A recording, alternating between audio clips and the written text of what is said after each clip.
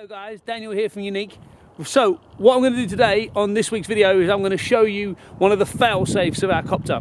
Um, so what this one is going to be simulate your ST16, the battery dying or accidentally turning it off or somehow that the ST16 shuts down. What happens to the copter, all right? So we're gonna do it in manual as well, so like worst case scenario, all right?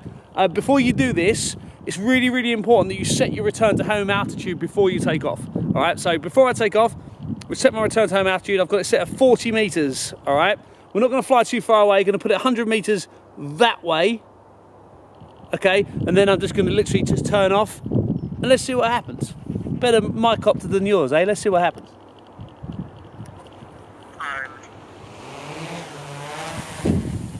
Here she goes.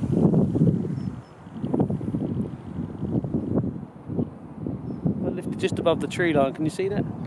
I don't know if you can see that. All right, so the distance I'm now is uh, 130 meters, all right? Manual mode, okay? We've got a little bit of a drift, so I'm just going to keep it steady. Right, so we're in manual mode, and now shut down my transmitter. You can see it's shutting down. The copter, GPS brakes, and it's now climbing. All right, it's quite cool that it's putting the landing gear up for you as well. Why it does that? Who knows? It's a cool feature.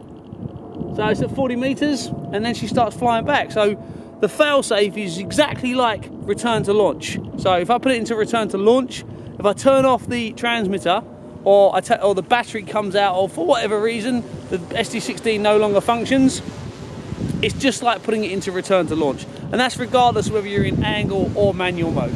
All right, so if that happens, don't panic. Just make sure your return to home altitude is set nice and high or higher than any obstacles that might be around you. So flashing red lights on the under the arms let you know it's in its uh, return to home state.